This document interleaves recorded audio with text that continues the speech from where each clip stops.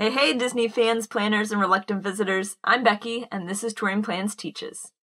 This week, we have Walt Disney World Resorts episode 202, where we'll be talking about the best buildings at every resort, as well as the most popular rooms at each resort. They're popular for a reason, and you might want to know what those reasons are to know if you should request the same rooms for your next stay. We gotta start by talking about the math that we're using to get these insights for today. To determine the best building at each resort, we're looking at satisfaction scores. So, anytime you take a trip to Walt Disney World, you can fill out a post visit survey at touringplans.com, and you can, as part of that, put your room number in that survey. So then I can aggregate all of that data on the back end and figure out which rooms and buildings have the highest average satisfaction on a score from 1 to 5. We don't do that for individual rooms just because our sample sizes get way too small, but when we look at a, at a building level, then we can get some good information. For most popular rooms, we're actually looking at our room request tool, which is part of the room finder on touringplans.com, and we're seeing which rooms have been requested the most frequently by Touring Plans users. And there are many, many rooms that have gotten hundreds of requests, and we'll see why that is and see if we can see any themes across those rooms to help you make your request better. Let's kick things off by looking at our five value resorts to see their best buildings and most requested rooms. We're going to start off at All Star Sports. Uh, this is the cheapest of all the value resorts. And if you look, you can see both of the best buildings at All Star Sports are in the same section. Uh, building 10 scores a little bit higher than Building 7. They're both in the touchdown section. So obviously, football is a highly satisfactory theme. At least that's what I think. Building 10 has an average satisfaction of 4.75, which is actually relatively high. That's pretty impressive for a value resort in general. Um, and a couple things that might make this true. There's no pool in between these two buildings, so compared to the rest of the All Star Resort, it's more quiet. It's also really, really close to the lobby and to transportation, making everything really, really convenient. But if we flip over to the most requested room for All Star Sports, it's actually not in either one of these high scoring buildings. Our most requested room is room 6155, which is in Building 6. And we're going to start to notice some themes even here. Uh, room 6155 is a first floor corner room, and it's actually the room that's closest to the main building and transportation of any other one on property for this resort. This means a couple things. It's one of the loudest rooms on property. It's right by the pool and by the lobby, so you've got a lot of people walking past. But if you can get past that, it's easily the most convenient. Now, it is a preferred room. That happens a lot at value resorts. If you want to be close, you're going to have to pay that preferred cost. Uh, but the average satisfaction here is 4.33. That's pretty low for some of our most popular rooms, probably due to a lot of that noise. But if convenience is worth it for you, then this room isn't a bad idea. Let's move on and look at All Star Movies next. Here we can see something pretty similar to All Star Sports, and that's at All Star Movies, our Toy Story themed buildings have the highest satisfaction. Again, they're really close to the lobby and transportation, and they don't have a noisy pool in the middle of them, so our satisfaction scores here are pretty high. For building 10 specifically, the average is 4.65. So that's not as good as those touchdown buildings, still pretty high. If we look at our most requested room for All Star movies, it's in this highest rated building. So in this best building, which is building 10 and the Toy Story section, once again, it is a first floor corner room, as close as you can get uh, to that main building and to transportation. Our average satisfaction here is 4.5, and it's a little bit quieter than you would get in that All Star sports room that's the most requested. We'll continue along with our last All Star, and this is All Star Music. The best building here is Building 1, which is in the Calypso section, and it has an average satisfaction of 4.68. Um, so if you see Calypso, it's really, really close to the main building and transportation. Unlike the other two All Star resorts, All Star Music has sort of this tunnel of doom layout. Unless you're in the Calypso section, you're going to be really far away from everything. You have to walk through Calypso to get to it anyway. That means Calypso is going to be pretty loud, but at least if you're staying there, you're not going to have to walk a lot every day. And our most requested room at All Star Music is in one of the Calypso buildings. It's Calypso 0456. We actually don't have any satisfaction ratings from this room, even though it's the most requested. And it's not a corner room. It is on the first floor, but it's as close to the corner as you can get if you want a family suite. So, family suites are one of the main reasons you might want to stay at All Star Music, since it's the only All Star that has those. Uh, and so, this is a first floor, almost corner room, and it's that family suite. It's going to be really loud because you're by the pool and the main building. And again, we don't have any satisfaction scores from there, so we don't know once you stay there how much you like it. Moving on up sort of the cost ladder of the value resorts, we have Pop Century next. At Pop Century, we see a really weird result. So, Pop Century, when I get the average satisfaction for every building, it actually has the lowest spread of any resort. So the highest, the best building, and the lowest, the worst building are really, really close together. They're like 0.17 apart. So no matter where you stay at Pop Century, differences aren't going to be that dramatic. And we've talked about this in previous videos because when you're at Pop Century, you're either very close to the main building or you're very close to the Skyliner. It's hard to get a sort of really poor location at Pop Century. But this result was really interesting to me because the best rated building is 1990s Building 8, which is actually the furthest from any of those things. So this is arguably sort of the least good location of any building on Pop Century.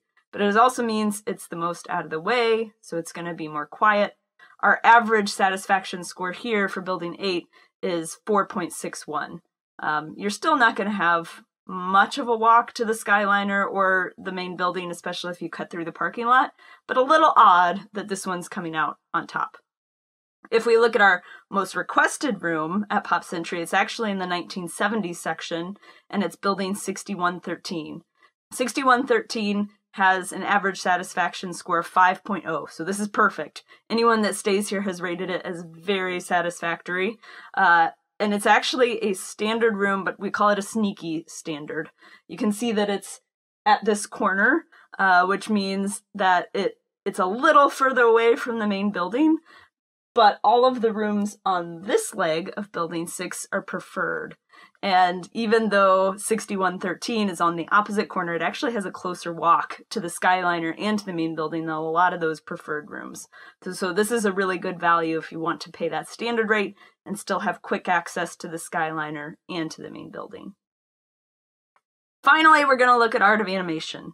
Here, the best building is Lion King, specifically building 6. It has an average satisfaction of 4.74, and it's immediately followed by the other Lion King building, which is building 10. There's no noisy pool in the middle of the Lion King buildings, and you've got a really quick walk to Animation Hall or the Skyliner if you need to go to either of those places. If you're staying at Art of Animation and you need a standard room, you're not staying in a family suite, Building 7 is your best bet out of those Little Mermaid options. Speaking of Building 7, our most requested room at Art of Animation is in that building. So it's Little Mermaid 7513. Once again, we've got a perfect 5.0 score for this room.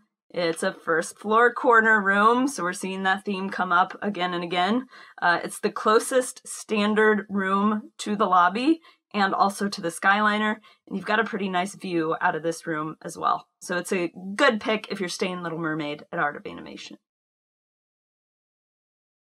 Next, let's talk about our moderate resorts. So for values, we saw that first floor corner rooms that were really close to the heart of the action were what was popular. Think we're going to start seeing a different theme emerge in the moderates and the deluxes.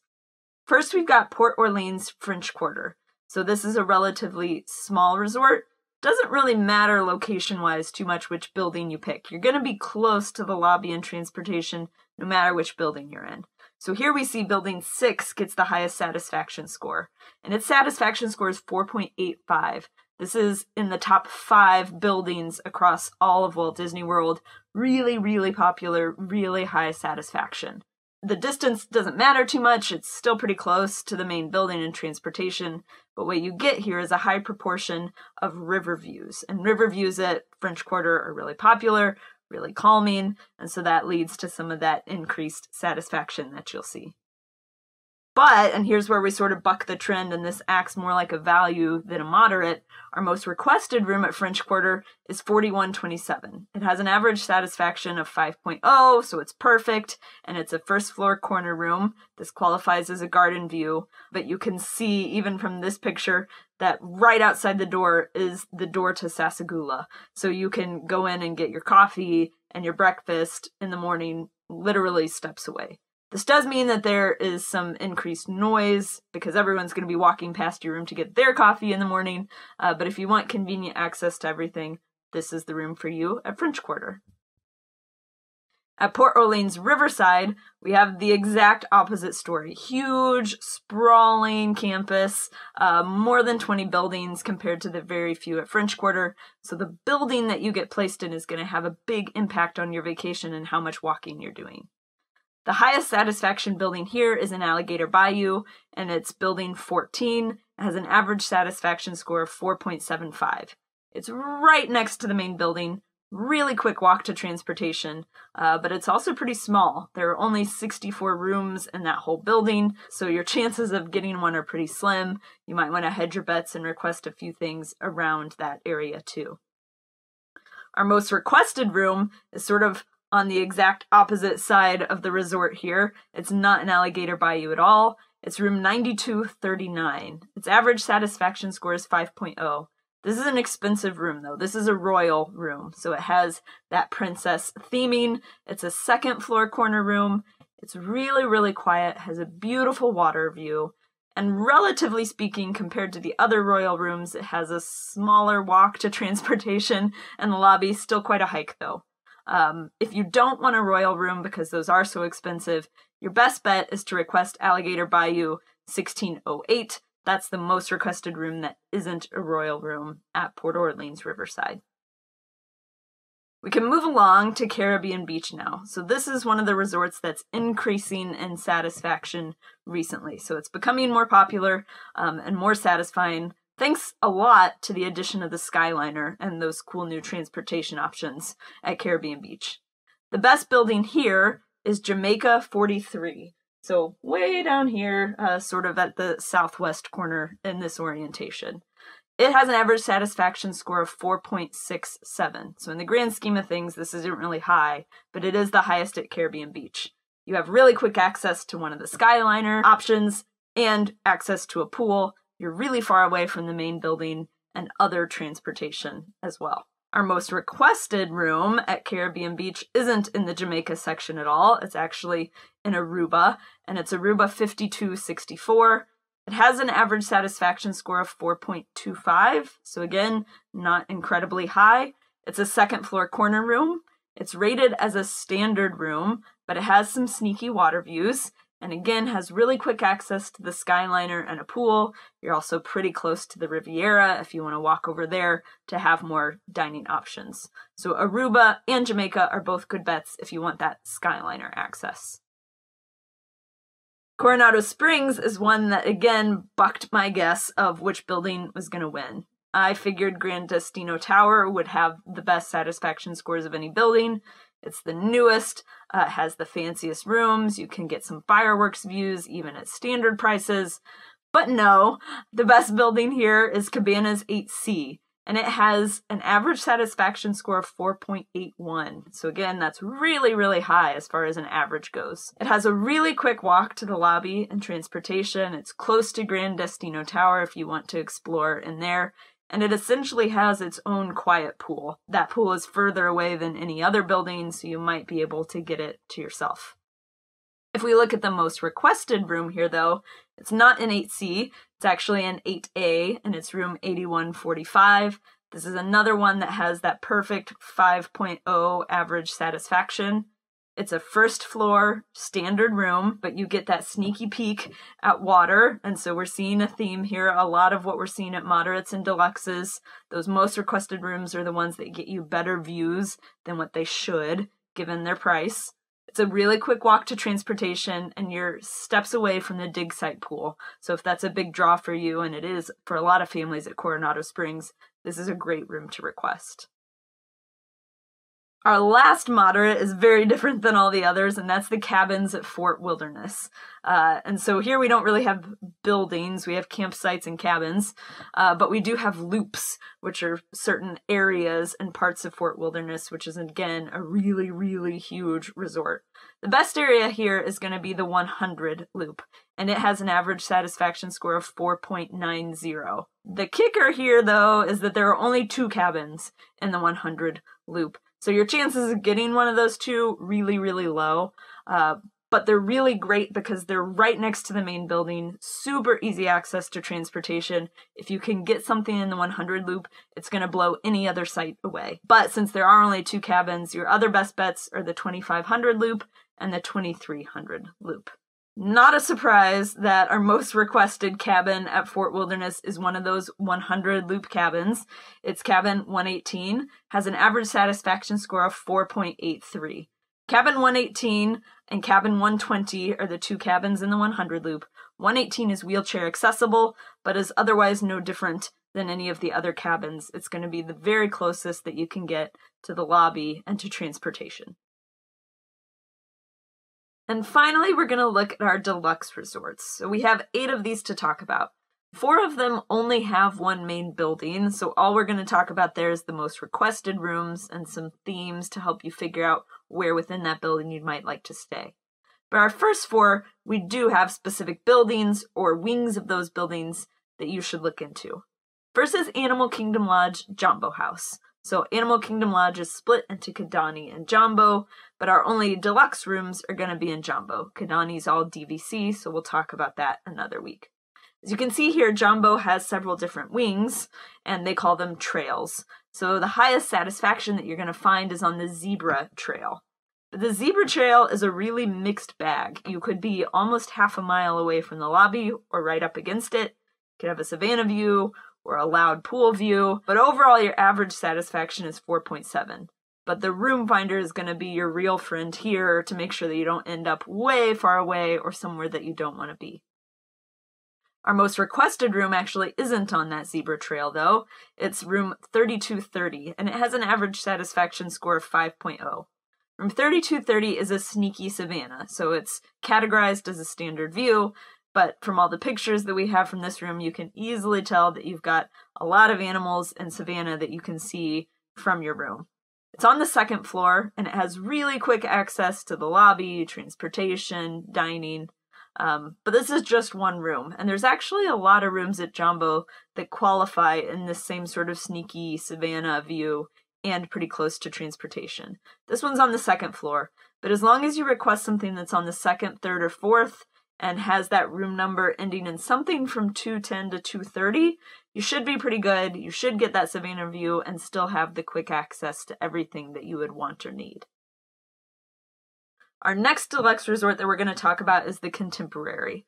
And really, there are only two main big buildings here. Uh, you've got the main tower and you've got the South Garden Wing.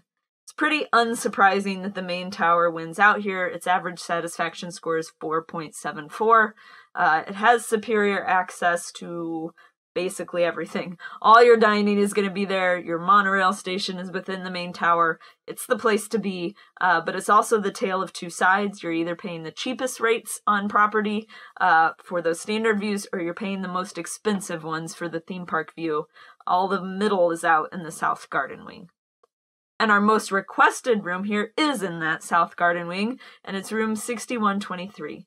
This room has a perfect average satisfaction score, so it averages 5.0, and it's a first floor corner room in that south garden wing. So it's going to cost you more than a standard room, which would be in that main tower, uh, but it's probably worth the upgrade for a couple of reasons.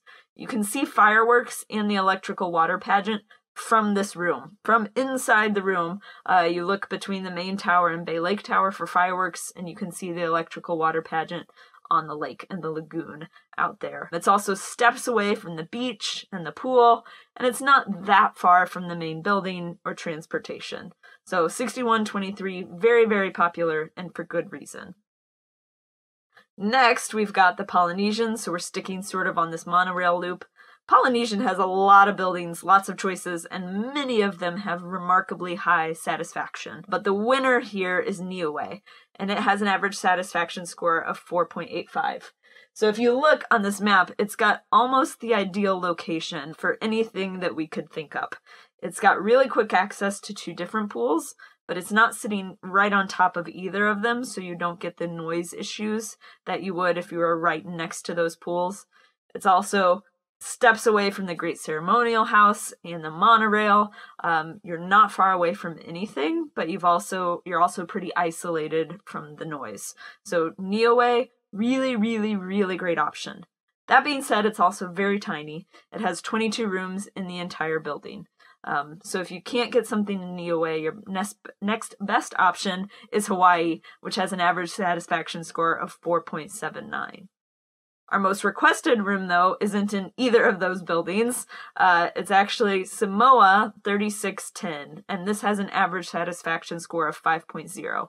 It's a third floor corner room, and it has a pool slash marina view. So you're paying a little bit more for this, but you're not paying those theme park view prices. Here you've got very quick access to the pool, to the ferry, to the main building, um, but it does have increased noise because it's more right on top of that pool um, and close to the ferry dock where you're going to get those horns blowing at certain hours of the day. Um, but really nice and close. You can even get a peek at Magic Kingdom if you sort of crane your neck around your balcony. So Samoa 3610 at the Polynesian is our most requested. Our last deluxe resort on the monorail loop and our last one with multiple buildings to pick from is the Grand Floridian. The best building here, just like at the Contemporary, is the main building. Not a surprise, your dining options are there, close to your transportation. Average satisfaction score there is 4.79. So not sky high, definitely not bad though. Um, but if you don't want to be in that main building with sort of the hustle and bustle associated with that, your next best backup is going to be Sugarloaf Key and it has an average satisfaction score of 4.77. So really close. If you don't want to be right in the middle of the action, go for Sugarloaf Key instead. Our most requested room isn't in either of those buildings again. It's actually in Conch Key, and it's room 7413. We don't have any satisfaction scores from this room, but it is the most requested at the Grand Floridian. It's in the middle of a fourth floor of Conch Key, it has a very quiet lagoon view, so you're paying a little bit more for that lagoon view, but it's actually really relaxing. You can see the monorail from there, and you're not too far away from anything. So if you want something a little bit removed, you can go and relax on your balcony at night and not hear the pools and the noise and the dining. That's a good room for you to request. Now we're going to start moving into our deluxe resorts that are all in one building don't even have really good discernible areas that we can decide between. So we're only going to look at the most requested rooms at each of these four next resorts. The first one is Beach Club. So our most requested room at Beach Club is room 3681. It's got an average satisfaction score of 4.5, and it has this sort of sneaky pool view, but it's actually categorized as a standard room. We talked about in a previous video, standard rooms at Beach Club are typically like roof views, and you'll get a little bit of roof here too, but you get better view than you should get at this price category. It also has pretty convenient access to the lobby, which is good for a resort that's spread out within one building like Beach Club. It doesn't have any good transportation access, though. You're going to be having a hike to any transportation or park that you're trying to get to. If we go right next door over to the yacht club, our most requested room is room 4153. So this is another one we don't have satisfaction scores from, but it is the most requested. It's rated as a garden view, so that's slightly more expensive than a standard view. But you can see in the pictures here that you actually get glimpses of both the pool and Crescent Lake from this room. So you're getting that sort of sneaky upgrade in view. Um, that being said, it's not close at all to the lobby or to transportation. You're going to have a hike. It is pretty close to the boat dock, though, so if you want to take that boat over to Epcot or another resort, wherever else, you'll have quick access to that. Our next resort is Boardwalk Inn, so we're sort of closing out our Crescent Lake resort area here. And the most requested room at Boardwalk is 5279. This is another one we don't have satisfaction scores from. It's a fifth floor standard view, um, but for paying for a standard view, I would take that view of a lake and a resort and a pretty sunset any day. So, really spectacular view for a standard room. But you're on the fifth floor, um, so that elevated, beautiful view is going to cost you some time waiting for elevators or doing a lot of stairs. Um, and you're not really close to the lobby or the pool or transportation. So, you've got that trade off. Really, really nice view, but you're going to walk for it every day. Our last resort, deluxe resort, is Wilderness Lodge. And our most requested room here is 6046, has an average satisfaction score of 5.0. So this is another one of our perfect score rooms. Uh, this one is a theme park view. So in a previous video, we talked about the sneaky standard views at Wilderness Lodge. Is not a sneaky one, so you are paying more money for that theme park view but the view you get is actually a lot better than the theme park views at along the monorail loop. So still a pretty good value. It has a quick trip to the lobby and to the pool.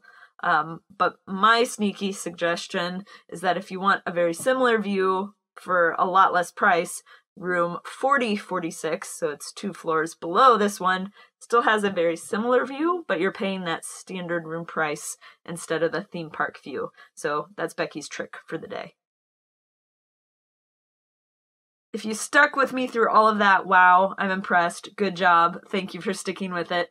Uh, let's talk about the themes from the various resort levels. We know that popular rooms to request are ones that are close to the lobby or transportation, especially at those bigger resorts, or rooms that have sort of those sneaky view upgrades. Savannah for a standard price, theme park for a standard price, uh, lagoon for a garden price, whatever the case may be. So be on the lookout for those. You can find those either by watching this video or on the room finder by clicking through and trying to find pictures from rooms that you think would make you happy. Those locations don't necessarily equate to higher satisfaction, though. For those, you'll want to look at those best building resorts so you can find a building that might yield higher satisfaction than just that specific room that's most popular. I appreciate you spending the time with me today. Next week, we're going to be back with information about DVC resorts. Lots of people have been asking, why do you keep leaving the DVC resorts out? Because they're a different beast. They have their own data, they have their own prices and complexities. So we'll start in with those next week. Thanks for joining me. We'll talk to you soon.